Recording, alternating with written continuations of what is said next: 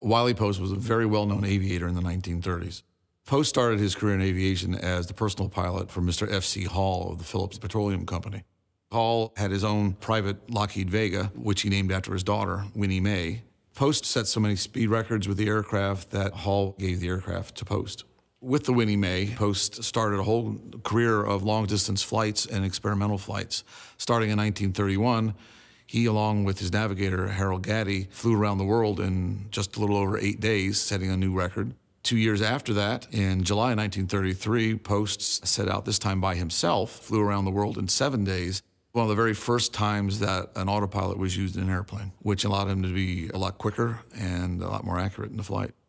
In March 1935, Wiley Post took the Winnie Mae to a record altitude of 50,000 feet in an attempt to fly across the country in a record setting time. Post was always interested in pushing the envelope of the performance of aircraft. He understood that aircraft fly faster and farther at higher altitude. So he actually had his engine supercharged and was designed to fly at 50,000 feet. He was flying so high that the aircraft actually benefited from the jet stream, which was a phenomenon people did not know at the time.